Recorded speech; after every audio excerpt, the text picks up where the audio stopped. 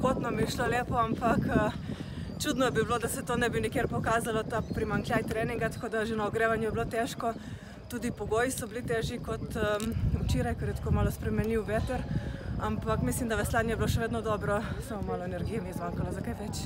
Še eno tekmo na 200 metrov imam popovdne, pol finale in tam bom dala še enkrat vse od sebe in uh, upam, da mi po kakšni sreči uspe uvrstiti v finale.